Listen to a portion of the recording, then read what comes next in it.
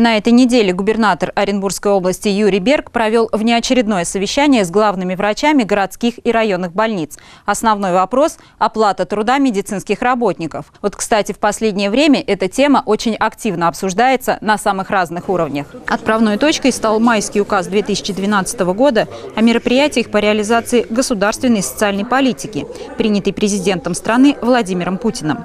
Это так называемая дорожная карта. В ней, в частности, речь идет о поэтапном повышении к 2018 году зарплаты медиков. Для врачей до 200%, для медсестер до 100% от средней по региону.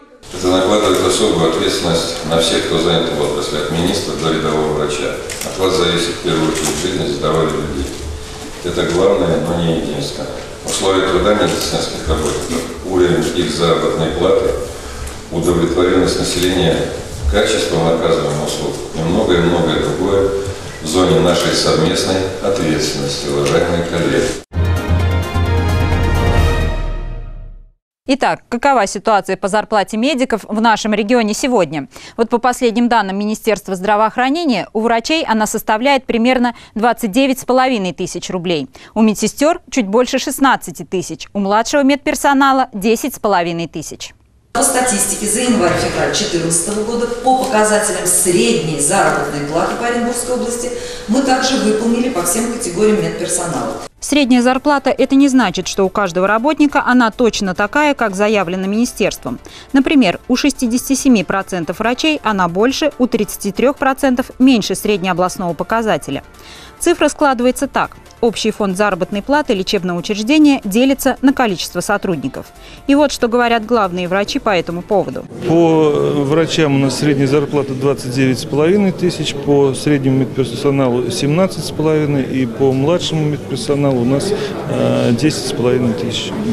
И за счет чего это достигаете? У вас надбавки, у вас коэффициенты? Ну, у нас все как у нас же есть э, положение об оплате труда, оно утверждено, э, примерное положение разработано Министерством здравоохранения. Мы по максимуму по этому положению сделали все, э, то есть э, выплаты стимулирующего характера, компенсационная выплата. По итогам э, двух месяцев заработной платы у врачей более 30 тысяч, э, у среднего медперсонала более 16 и порядка 12 тысяч у младшего медицинского персонала.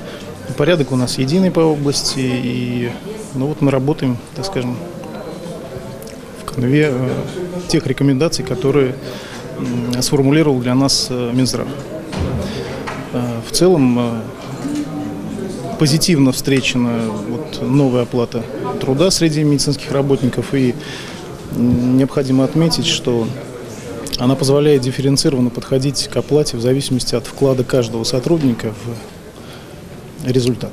Но, как выяснилось, не во всех лечебных учреждениях выполняется указ президента.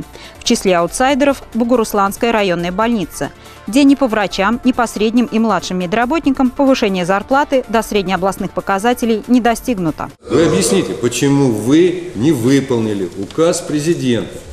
Не хватило финансовых средств для выполнения данного указа. Значит, вы тогда неэффективно ими распоряжаетесь. У вас заместителей на два человека меньше, чем у меня. Мысль понятна, о чем я сказал? Да, конечно. Разве у вас будет хватать денег? На совещании было отмечено, что на местах отсутствует нормальная разъяснительная работа по вопросу начисления зарплаты.